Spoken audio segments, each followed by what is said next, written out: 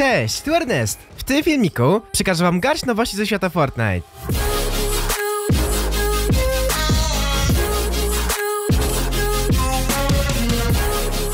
Ratowanie świata zostało po raz kolejny przecenione, co oznacza, że za niecałe 40 zł możemy zakupić dostęp do farmy fodolców na stałe. Wspominam o tym, ponieważ jest to bardzo dobra oferta, patrząc na to, że po zakupie Ratowania Świata otrzymujemy aż dwa legendarne skiny w Battle Royale i już wkrótce posiadacze Ratowania Świata otrzymają także darmowy zbierak oraz lotnie.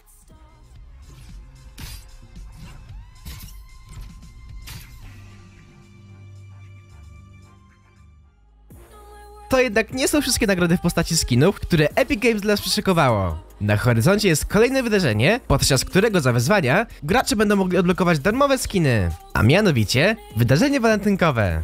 Mimo, że do walentynek jeszcze kilka dni, to już poznaliśmy pierwszą nagrodę za wzięcie udziału w tym wydarzeniu. Dzisiaj około pierwszej w nocy na swojego maila dostałem wiadomość, przeznaczoną dla członków Wesprey Twórcy, a w nim widnieje informacja, że gracze, którzy użyją kodu twórcy w okresie pomiędzy 8 a 23 lutego, otrzymają za darmo malowanie przytulne serca po aktualizacji 7.40. Co oznacza, że jeśli użyjecie kodu twórcy pomiędzy 8 a 23 lutego, to po aktualizacji 7.40, czyli w najbliższy wtorek, otrzymacie taki właśnie oto malodek na przedmioty. Jest to kolorek Pani i charakterystyczne serduszka z ubioru. Oczywiście byłbym bardzo wdzięczny, jeśli użylibyście mojego kodu twórcy. Ernest. Dzięki.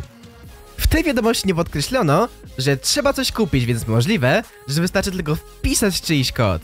Poza tym, do gry mają też wejść wyzwania walentynkowe, które powiązane są z mrocznym strażnikiem miłości. Prawdopodobnie wyjdzie on jako dodatkowy styl dla oryginalnej postaci, którego odblokować będziemy mogli wykonując odpowiednie wyzwania. Tak samo jak to jest z panem Pomidorkiem. Co ciekawe, Lukas 7 Yoshi w plikach gry tych wyzwań doszukał się wzmianek, że nagrodą za wyzwania miał być także feudalce.